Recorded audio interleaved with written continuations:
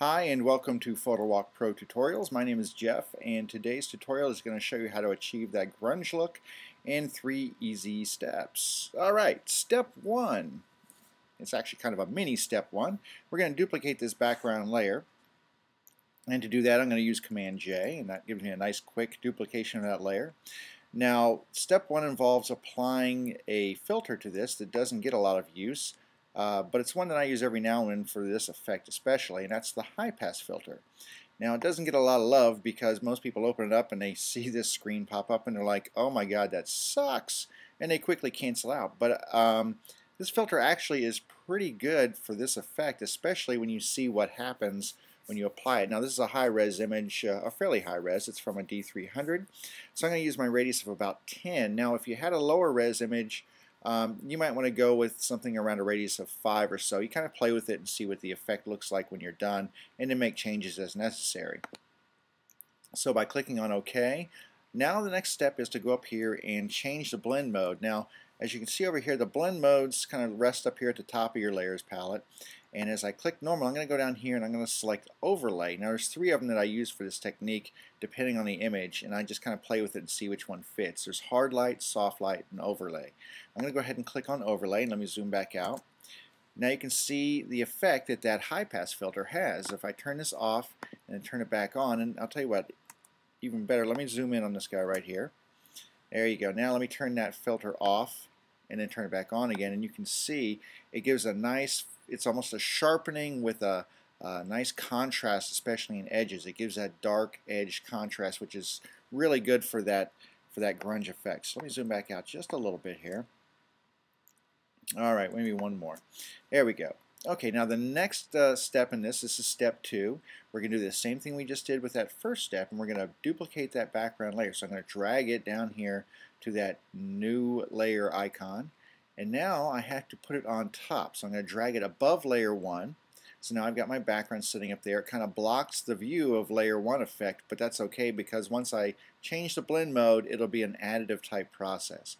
Okay, so the, the next step with this background copy is to desaturate it. Now, there's a couple different ways you can desaturate. You can go to uh, hue and saturation under the image adjustments and change it to, uh, you know, just grab that scrubby slider and slide it all the way to the left. Or you can just do a quick keyboard shortcut, which is the Command Shift U or Control Shift U on your PC, and that desaturates your image nice and quick. Uh, my my intent is not to make a black and white image. If it was, I would certainly do it a different way than desaturate because it doesn't do a great, great thing for black and whites. But it will work nicely for this next effect, which is kind of to make our images a little bit more dull and muted. And we do that by changing the blend mode on this layer. So we're going to go and change this to overlay. And by changing it to overlay, you can see what it does to these colors. It kind of, some of them kind of pop a little bit more, but some of them are a little bit more muted, and it just gives that nice effect. So here's a before, and there's after. All right, and it also adds a little bit more contrast, which is kind of nice for this effect. All right, the final step that we're going to use here, this is step three, and what I'm going to do is I'm going to add a, now I want to, here's the, here's the, the final step, and this is a dodge and burn uh, effect. But you know what? I don't want to dodge and burn directly in the image because that's kind of destructive and it also it's hard to undo or to make changes later on. So what I'm going to do is I'm going to do dodge and burn on its own layer. So I'm going to click on a new layer icon and I'm going to fill that. So I'm going to go up here to edit and fill and I'm going to fill that with 50% gray. Now when I do that it just fills it with gray and you can't see a thing. Once again it's our blend modes to the rescue. We're going to change that blend mode to overlay. Now at 50% gray, there is no change to your image. The way you affect that change is by painting either with a black to burn in or a white to dodge on your image. Uh, the one thing I would suggest is you just start with a low opacity on your brush. Now mine's set to about 50% here. My color is set to black and I have my brush tool. If you if you start right off with a, let me go ahead and do 100% here. If you start off with 100%, you can see it's just way too dark. Alright, I'm going to go ahead and undo that.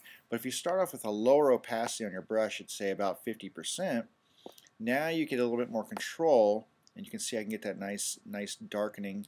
Uh, you can also uh, change your size of your brush. You can do that. Now I'm going to paint around him because I want to isolate him from the rest of the image.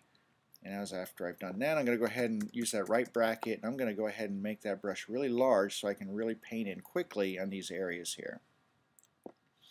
Now if I click off these other layers, you can see exactly what I'm doing to my image is I'm painting. Now it's, a, it's an additive process, so as you're painting in here, it's going to darken these areas even more and more. Okay, let me turn these back on. Okay, and I'm just going to keep painting. Now I want these columns to be a little bit darker here, so I'm going to paint over them again, and then makes them a little bit darker, and then again, and that'll make, make them a little bit darker again. Now, that looks pretty good to me. But you know what? These columns are just still too light to me, and I want them to be a little bit darker. So you know what I'm going to do?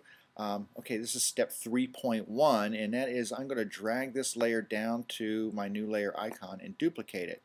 Now you can see how much darker it made everything. It really kind of it screwed things up over in this, over in these windows and everything. You're almost getting a little posterization, but that's okay because I'm going to put a layer mask on top of it. And I'm going to put a mask, I'm going to kind of invert that mask. So I'm going to hold down the Option key or the Alt key and click on the Add Layer Mask button. Now instead of a white mask, it puts a black mask on there. That black mask, uh, uh, painting with white, is going to reveal that, that newest layer.